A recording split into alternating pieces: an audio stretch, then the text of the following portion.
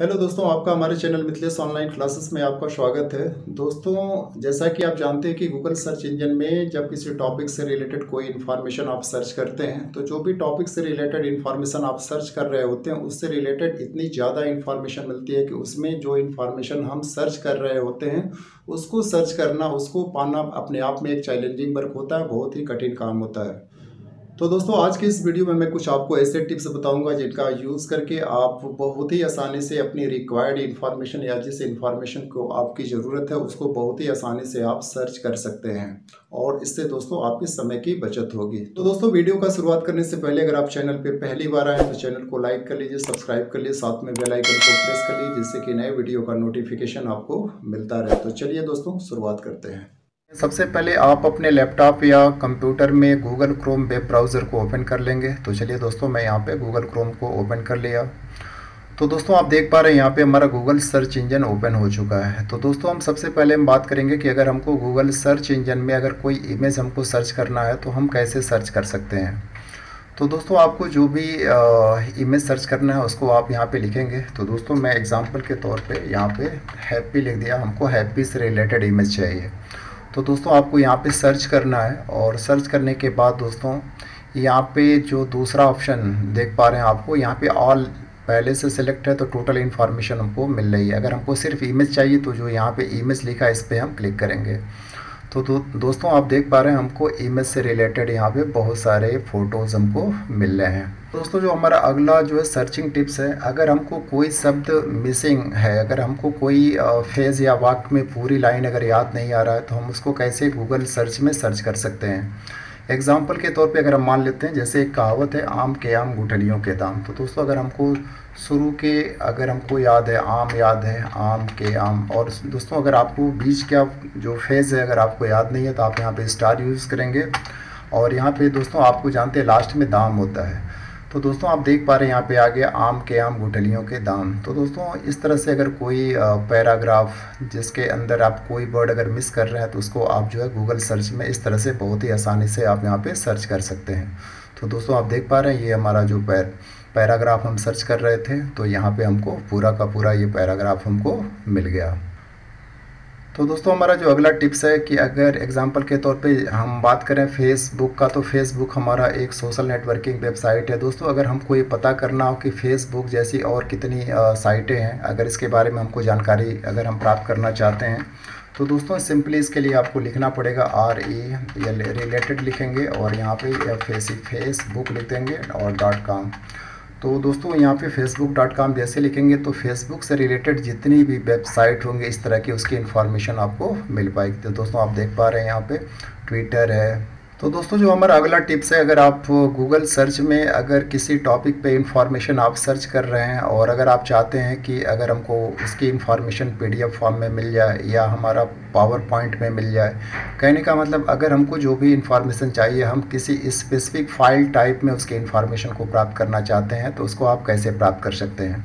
तो दोस्तों, यहाँ पे एग्ज़ाम्पल के तौर पर जैसे मैंने यहाँ पर लिख दिया, और न्यूटन्स लॉ और न्यूटन्स लॉ लिखने के बाद दोस्तों आपको यहाँ पे कोलोन यूज़ करना है। दोस्तों, अगर आप चाहते हैं कि इस लॉ से रिलेटेड अगर आप वीडियो देखना चाहते हैं तो यहाँ पे एम पी फोर जैसे लिखेंगे।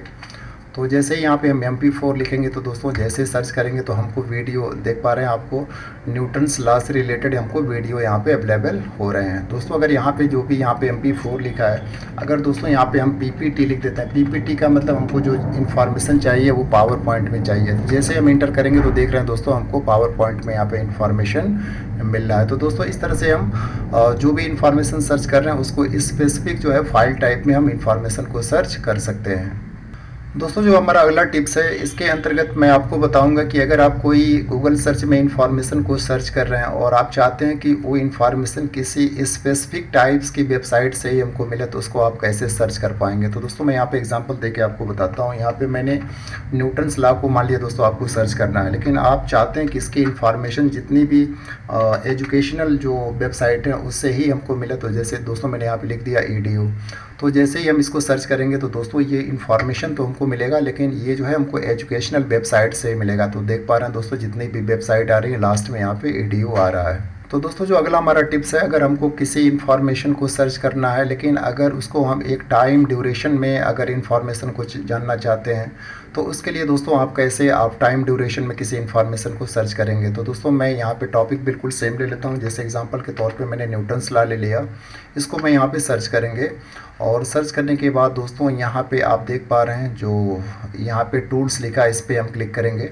जैसे इस पर क्लिक कर रहे हैं तो आप यहाँ पे देख पा रहे हैं, यहाँ पे लिखा है एनी टाइम। कहने का मतलब अगर आप पास्ट आवर में अगर इस टॉपिक से रिलेटेड कोई इन्फॉर्मेशन अगर पब्लिश हुई है तो इसकी इन्फॉर्मेशन आप पास्ट आवर या पास्ट ट्वेंटी फोर आवर्स या आप देख पा रहे हैं past year past month past week तो दोस्तों, जैसे ही एग्जांपल के तौर पे अगर हम यहाँ पे पास्ट वीक लिखते हैं तो दोस्तों, जो भी हमको यहाँ पे इन्फॉर्मेशन मिलेगी, जो पिछले एक सप्ताह के अंदर पब्लिश हुई है, वो इन्फॉर्मेशन हमको यहाँ पे मिल जाएगी।